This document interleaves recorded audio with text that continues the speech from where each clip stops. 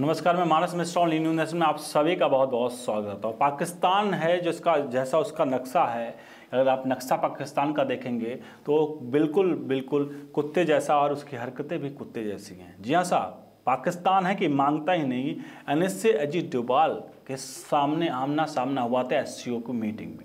लेकिन जब N S Doval ने लश्कर और जो वहाँ के जो आतंकी संगठन हैं, उसको लेकर के जब उन्होंने पोल पट्टी खोलना शुरू किया तो पाकिस्तान कैसे कुत्ते की दुम की तरह गायब हो गया, फरार हुआ, आपको इस वीडियो में दिखाने जा रहा हूँ। आज पाकिस्तान जो हर मंच पर भारत के खिलाफ साजिश रचता है, आज एससीओ की मीटिंग में कैसे वो नंगा हुआ है, और एफएटीएफ में एफएटीएफ में जा करके वो भारत को लेकर के गंदी राजनीति कर रहा था, और वहाँ भी उसकी ठुकाई हुई है।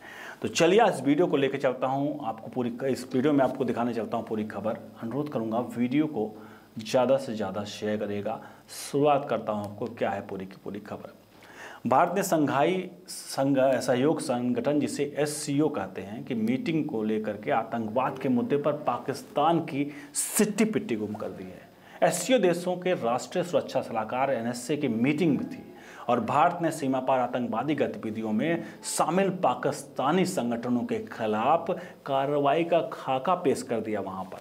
एनएसए अजीत डोभाल ने इस मौके पर सीधे सीधे दो पाकिस्तानी आतंकी संगठन, लश्कर तैयबा और जैसे मोहम्मद का वहाँ पर नाम लिया और कहा, एससीओ के सभी देशों को इनके खिलाफ कार्रवाई सुनिश्चित करवानी चाहिए।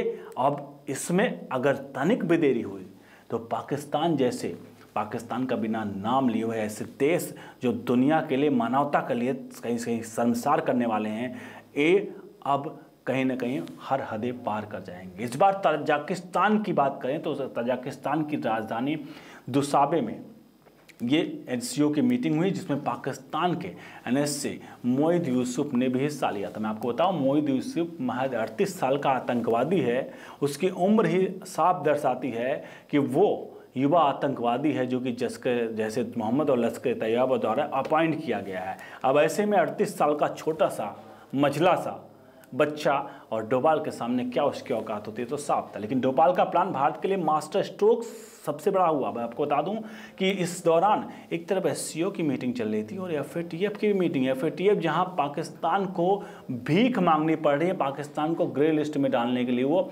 ब्लैक लिस्ट में तरफ़ बढ़ रहा पाकिस्तान। पाकिस्तान पर एफएटीएफ के इस बड़े फैसले के कुछ घंटों पहले डोभाल ने जैस के लश्कर के खिलाफ एससीओ देश का प्लान थमाकर मास्टर स्ट्रोक चल दिया।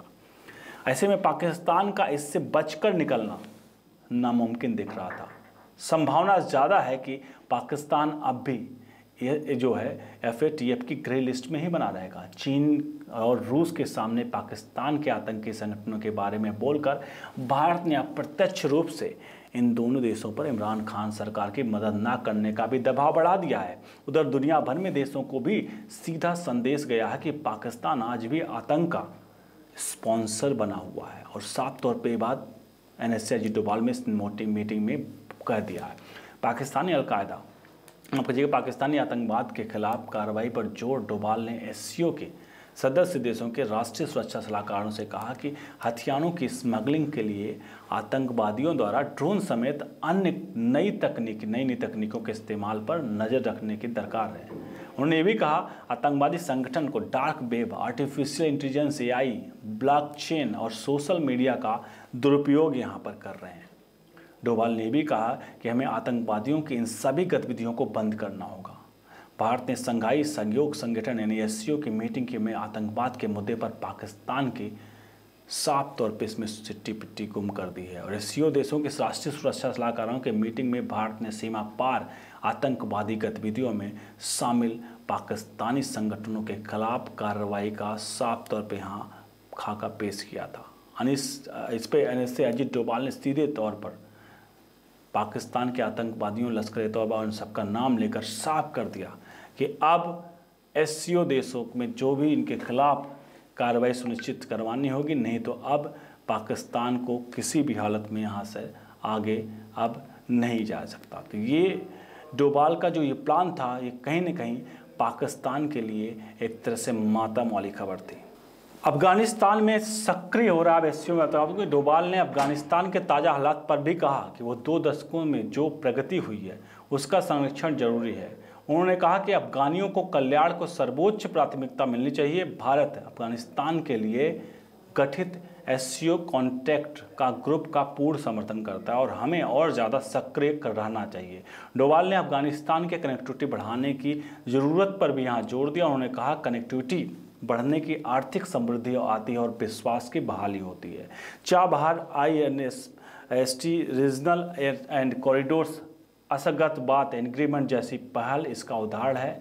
अफ़गानिस्तान पर पाकिस्तान को मुंहतोड़ जवाब, इधर पाकिस्तान के विदेश मंत्री मोहम्मद कुरैशी ने भी जब अफ़गानिस्तान के भारत की बढ़ती भूमिका पर आपत्ति दर्ज की तो भारतीय विदेश मंत्रालय ने उसका मुंहतोड़ जवाब दिया। मंत्रालय के प्रवक्ता अरिंदम बागची ने कहा कि भारत ने पाकिस्तान में बिजली, dam, school, health clinic, road community project दिए और दुनिया को पता है कि पाकिस्तान ने उसे क्या दिया। उन्होंने कहा कि यह अफ़गानिस्तान के लोगों को पर से निर्भर करता है कि वो किसे अपना साझेदार बनाएँगे और किस हद तक। दरअसल कुरैसी ने कहा कि भारत को अफ़गानिस्तान में ज़रूरत से ज़्यादा तवज्जो दी जा रही है। क्या है एस को एक मैं आपको बता दूँ? ये यहाँ पर आपको एस को क्या है उसके बारे में थोड़ा समझा दूँ आपको। एस जो है रूस, चीन, कजिकिस्तान कजाकिस्तान तजिकिस्तान और उज्बेकिस्तान राष्ट्राध्यक्षों ने वर्ष 2001 में संघाई के एस की नींव रखी थी। भारत को वर्ष 2005 में इसमें ऑब्जर्वर बनाया गया था। 12 साल बाद 2017 में भारत और पाकिस्तान एस का अस्थायी सदस्य बना दिया गया। एस को अमेरिका के नेतृत्व में वाले नॉर्थ अटलांटिक ट्रीट ऑर्गेनाइजेशन, यानी नाटो का समकक्ष समझा जाता है। America, France, Germany, Italy, UK समेत कुल 30 देश जो हैं, वो नाटो के सदस्य हैं। पिछले वर्ष सितंबर में एससीओ की मीटिंग में पाकिस्तान के प्रतिनिधि ने कश्मीर का गलत नक्शा पेश किया तो एन एस डोभाल मीटिंग का बहिष्कार पिछली बार उन्होंने कर दिया था। इस वीडियो को मैं यहाँ खत्म करूँगा आपसे अनुरोध करूँगा वीडियो को ज़्यादा से ज़्यादा शेयर करें। बने रहो इल्यूमिनेशन के साथ। बहुत बहुत धन्यवाद। मैं Manas Mishra the news ocean का मैनेजिंग डायरेक्टर आपके लिए एक ऐसी पत्रिका पहली बार आई है जो सिर्फ़ सच दिखाएगी। कृषि कानूनों पर मचा है घमासान। हो रही है मनगढ़ंत बातें। मैं अंकित मिश्रा पढ़िए मेरा आर्टिकल इस मैगजीन में फैक्ट के साथ। यूपीएससी के एस्पायरेंट समझे हर मुद्दों को गहराई में जाकर के। इस नए लेख में आपको मिलेगा नए संसद भवन के निर्माण से संबंधित सारी जानकारी। मैं विशाल यादव अब तक आप लोगों ने हमें टीवी पे देखा लेकिन अब हमारे लेख आपको दिखेंगे इस मैगजीन में। मैं Ranjit Prasad reporter the news ocean. हम आपको दिखाएँगे किसान आंदोलन के बीच में जिहादी कांड। सब्सक्राइब करें द न्यूज़ ओशियन खबरों का समंदर। मैं Manas Mishra the news ocean का मैनेजिंग डायरेक्टर आपके लिए एक ऐसी पत्रिका पहली बार आई है जो सिर्फ़ सच दिखाएगी।